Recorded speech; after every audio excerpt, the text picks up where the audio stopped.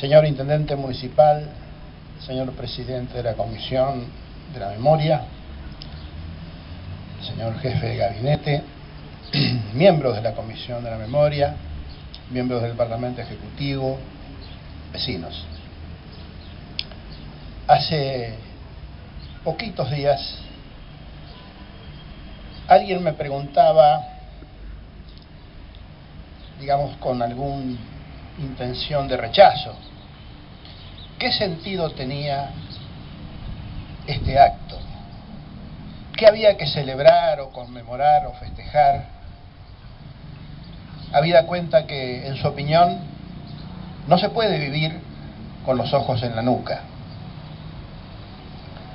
Y realmente confieso que estas consideraciones dichas a esta altura de los tiempos, o si ustedes quieren, a esta altura de la verdad, me dejaron sin respuesta. Y entonces atiné a, tratar de, de bucear en la cuestión tratando de dilucidar qué claves estaban detrás de estas expresiones. Y está claro que no se puede vivir con los ojos en la nuca, pero la construcción de una sociedad se asemeja mucho a conducir un automóvil. No podemos conducir nuestro automóvil mirando para atrás, pero no podemos prescindir del espejo retrovisor. Así, uniendo pensamiento con pensamiento, llegué a una cuestión que me pareció el nudo del asunto, que es el nunca más. Cuando se iniciaba la recuperación de la democracia, y aún un tiempo antes, muchos pensábamos o atinábamos a pensar cómo iba a ser el asunto de la reconciliación. Y muchos nos veíamos invadidos por dudas que creíamos razonables y llegamos a pensar que tal vez la reconciliación solo era posible con el olvido, con el perdón, a libro cerrado. Pero se inicia el proceso democrático y es la democracia la que empieza a destapar la dimensión, la naturaleza y la profundidad del horror de una dictadura hija del golpe cívico-militar. Es así que comenzamos a tomar conciencia, muchos argentinos, de la gravedad que significaba la larga secuela de asesinatos políticos, sustracción de pibes con la consiguiente apropiación de identidades, un proceso económico basado en la desindustrialización, los años de plata dulce, secuestro, desaparición forzada, vuelos de la muerte, la eliminación de trabajadores y hasta de religiosos con militancia social. Pronto la democracia dejó a la luz estas cosas. Y pronto quedó en claro que no era posible ningún tipo de recuperación, tanto de la República como de la capacidad de construir una sociedad mejor, sin la verdad. No era posible sin administración de justicia. Muchos debimos cambiar nuestro pensamiento, reconocer que estábamos equivocados y que solo ese camino conducía a la reconciliación y a la recuperación de la República. Pero pronto y afortunadamente la democracia también trajo buenas noticias, porque a esta altura de los tiempos es justo reconocer que en el clima que nos había dejado la dictadura cívico-militar, había que tener convicción y valor para abordar los juicios a las juntas que implementó la gestión de Raúl Alfonsín. Fue solo una parte del camino, el inicio de un camino, con todas las defecciones que querramos apuntar. Pero al fin y al cabo fue la primera buena, gran noticia que la democracia nos trajo en relación a esta cuestión. Todas estas divagaciones me llevaron a pensar, y estoy convencido de ello, que el nunca más, de ningún modo, es una construcción eh, terminada, concluida. De ningún modo es una facultad cívica que nos pone a resguardo de la repetición de lo sucedido. Creo que no es así.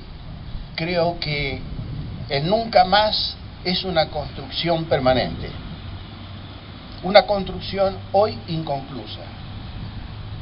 La respuesta comunitaria a esta convocatoria nos dice claramente que es una construcción que debe continuar.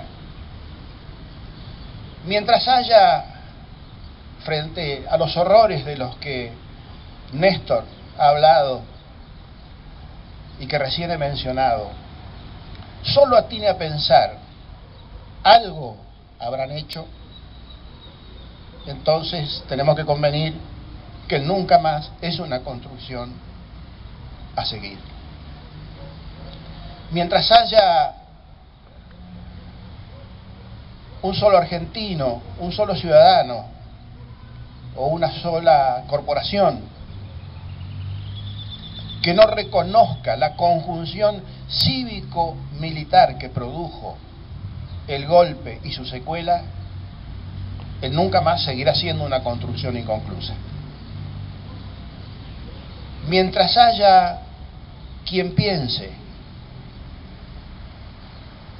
que es aceptable que una porción del poderoso conglomerado mediático pregone que casi nada bueno sucede en democracia, él nunca más seguirá siendo una, una construcción inconclusa.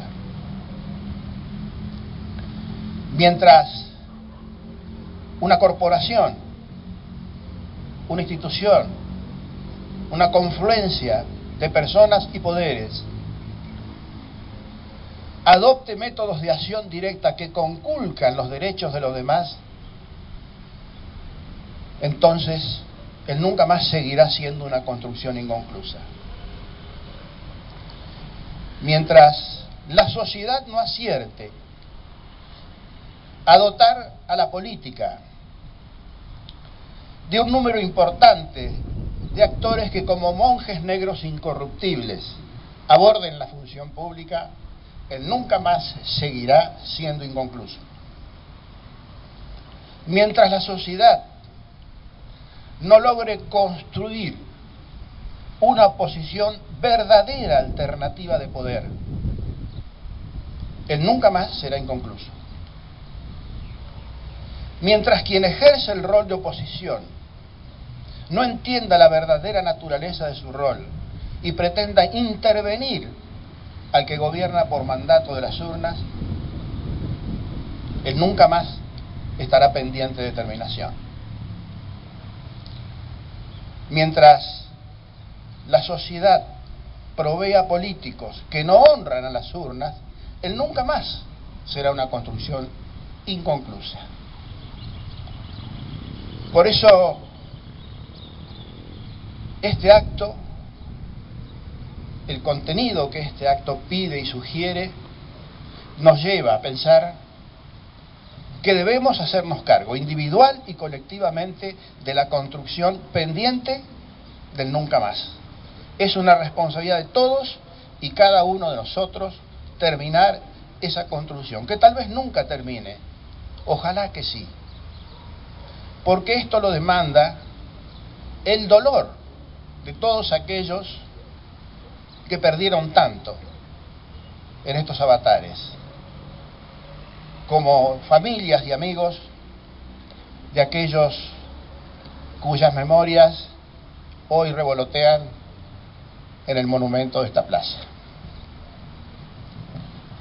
Hay noticias buenas, suceden cosas buenas, cosas tan lindas como Flavia, una estudiante que en el Congreso de Educación de Rosario, hace unos años, de esto los docentes presentes seguramente lo saben, escribió un trabajo que mereció la publicación por decisión del Congreso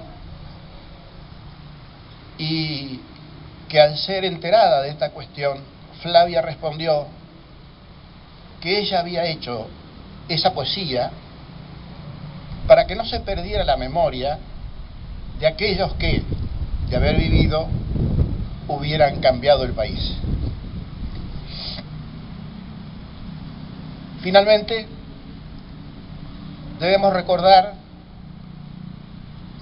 que lo más importante que produjo el advenimiento de la democracia está expresado en aquello mismo que nos convoca al compromiso.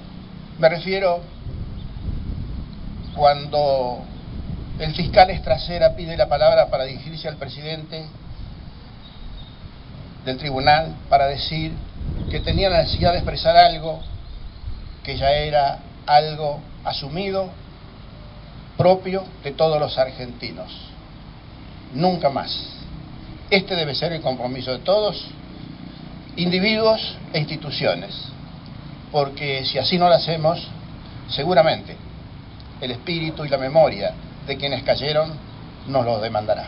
Muchas gracias.